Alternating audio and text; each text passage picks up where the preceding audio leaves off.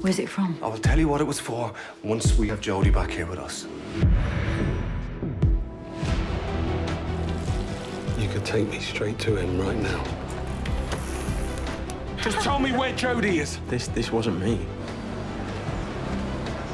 Or glass him, I'd know. You couldn't help yourself, could you?